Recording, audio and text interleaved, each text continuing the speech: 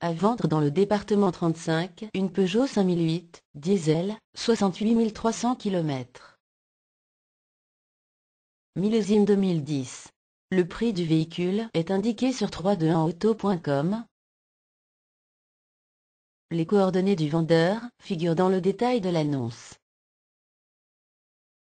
Retrouvez cette annonce sur 321auto.com en cliquant sur le lien dans la description.